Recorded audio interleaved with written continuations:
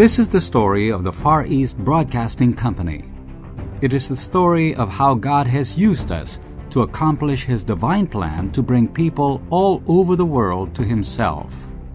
FEBC has been one of His chosen instruments. It is an ongoing story as we adapt to new opportunities to reach even more people and prepare for a future God has in store for us. More than anything, FEBC is the story of changed lives through Christ for God's glory, with millions of individual listener stories that encourage and inspire. In the highlands where China, Vietnam, Thailand, and Laos converge, live the Hmong people.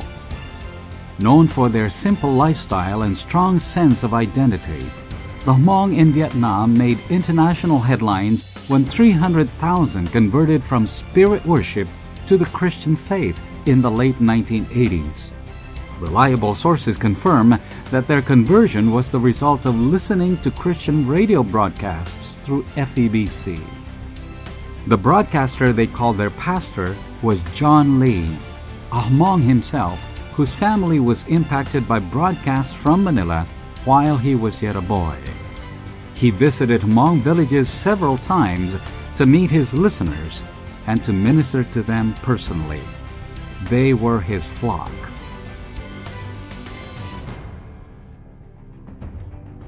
From the beginning, FEBC's broadcasts have centered on God's love and forgiveness. Coupled with our tremendous presence on the ground and driven by a compassion for people as God opens opportunities.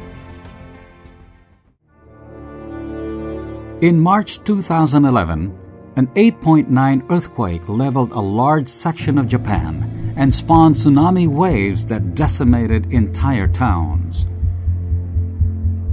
a nuclear power plant experienced a devastating meltdown. Looks like um, some kind of plant there.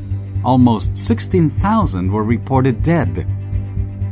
Yet God used this disaster to activate the church in Japan to reach out to victims, and FEBC was there to show the great love of God by lending a helping hand. Our listeners have great confidence in the FEBC and they keep listening and listening is kind of a support for their spiritual. Prayers were mobilized through FEBC broadcasts worldwide. More than six decades of engaging human needs with the saving gospel of Jesus Christ and the transforming power of God's Word have not changed the core values of FEBC. Close to God, close to people. Christ to the World by radio has been, from its founding days, both a call and a message. In 1945, God led Robert Bowman, John Broger, and William Roberts to establish FEBC. Their mission was to use radio to proclaim salvation through Christ and a life of hope for men and women throughout Asia. From the beginning, we were driven by two things a passion to obey God, and compassion for people who didn't know Christ.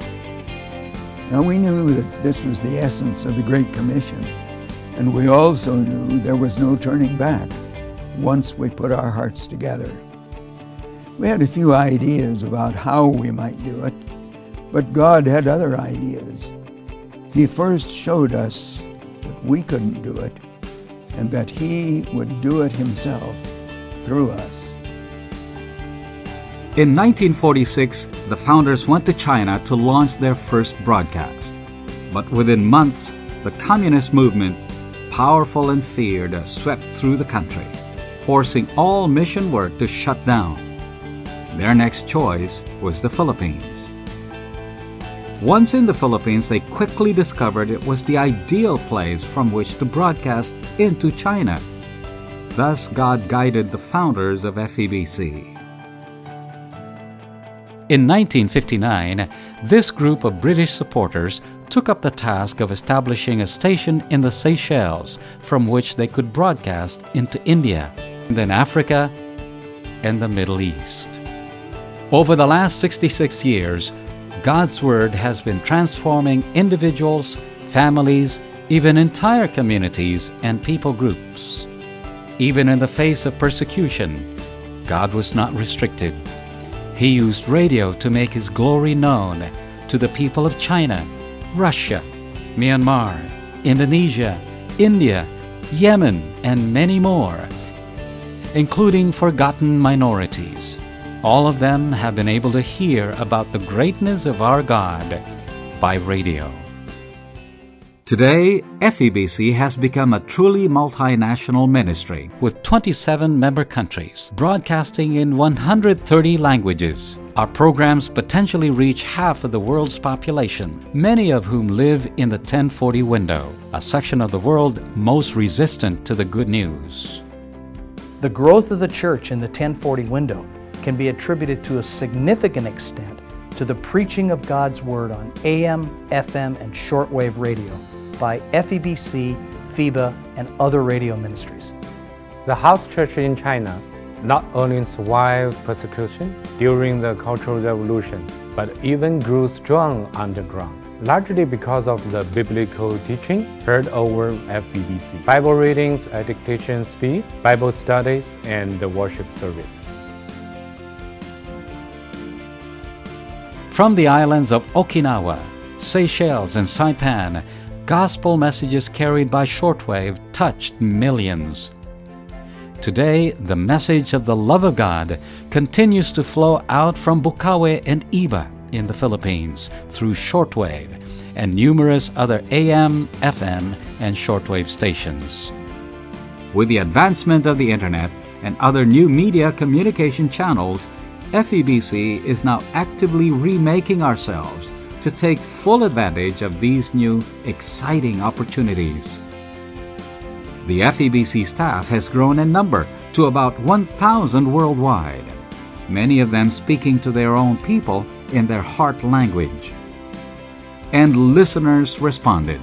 More than 1.25 million responses were received in 2010 alone, many of them sharing stories of transformed lives. For the past 20 years, we have seen a consistent shift from traditional response channels, such as letters, phone calls, or personal visits, to more contemporary means.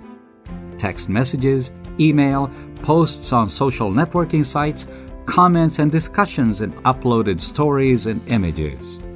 In 2011, FEBC's China Ministries online e magazine, Embrace a Happy Life, has recorded over half a million downloads in the first year of this new distribution channel. Close to the listener has been our watchword for many years. We see this through their culture, thought patterns, beliefs, and interests. And now that we have an opportunity with mobile devices and social networking, we can genuinely get close to our listener. Increasingly, the younger generation is not turning to radio, but rather to new media to learn more about their world.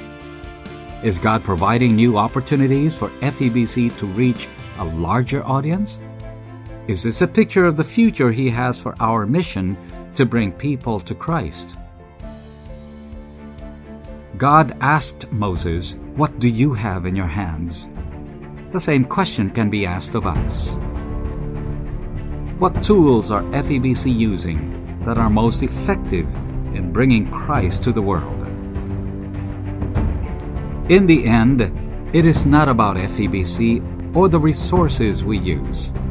It is about our great God who has entrusted his people with the mission to build his kingdom. From every tribe, every tongue, every nation, and every people group who will bow down in worship before him.